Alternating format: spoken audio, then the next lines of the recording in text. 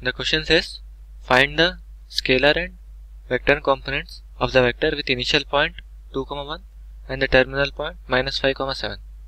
So this, the coordinates of the start starting point and the ending point of the vector are given. So if we write these in the form of position vectors, uh, the initial point is 2 i cap plus j cap and the terminal point is uh, minus 5 i cap plus 7 j cap.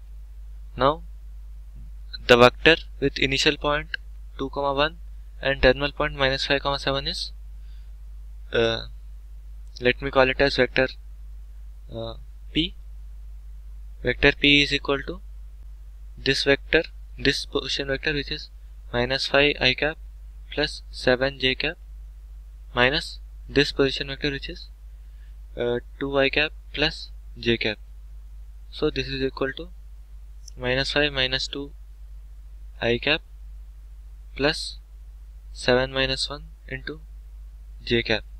This is equal to minus 7 i cap plus 6 j cap. This is the vector p now the question says find the scalar and vector components.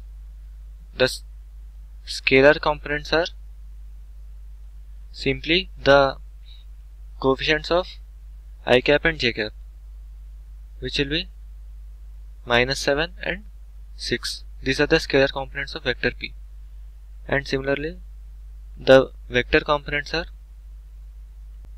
minus 7 i cap and 6 j cap these are the two vector components of the vector p